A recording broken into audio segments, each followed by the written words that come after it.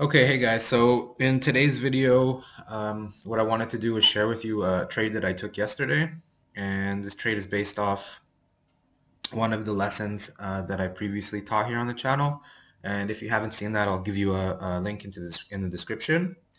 And basically what we did is we used the square of 9 on an intraday, uh, on an intraday chart uh, using the moon and this, the ascendant. Uh, so yeah, so if you don't understand what I'm saying, go check out that video and everything will be clear. So how did I take this short yesterday? Uh, first of all, you can see I have angles set up here. Uh, now these angles are different from the angles that I taught uh, in my previous video because uh, those angles are based on the H1 and this is for the M5 and I will put out a video later on on how to draw angles on the M5.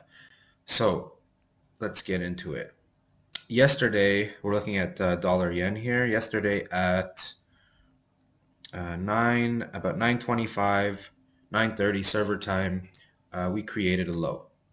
Okay, and uh, we created a, a low heading into the London Open.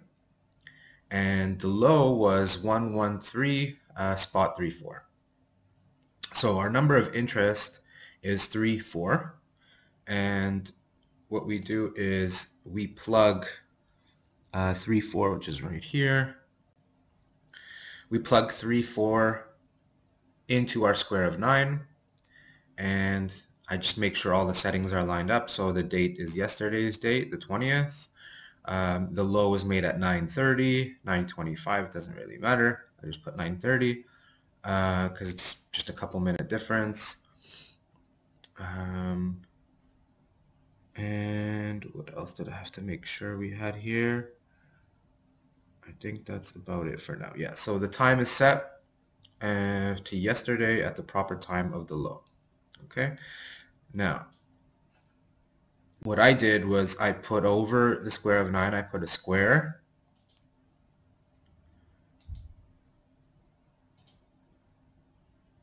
And I put the triangle.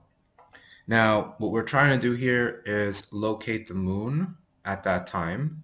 And you can see the moon was at 101 degrees. And we want to know when it will hit the next point, when in the day that will be. Now, we know um, we know that the moon uh, takes about 29 and a half days to, to complete a circle. So that doesn't help us on the intraday chart. But if we move the moon forward at, a, at the speed of the ascendant, um, which is secondary progression in astrology, uh, what we can do is uh, we can use the moon for intraday. So if we have here the locator is set at 180 degrees, which is the next point, the square, because there's nothing in between here that the moon will touch, and we subtract that from the degree that the moon is at currently, we will know how many degrees the moon needs to travel. So it's a very simple calculation. We do 180 minus 101.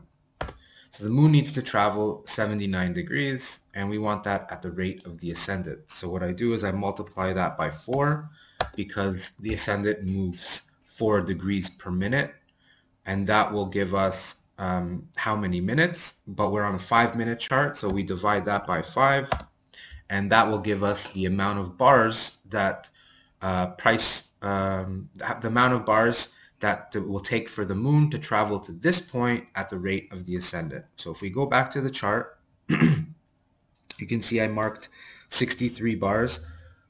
Excuse me. So we know that uh, according to the square of 9, there should be a change in trend, 63 bars after the low is made. And as you can see, as soon as we hit 63 bars, we created a new low, right? And price never looked back.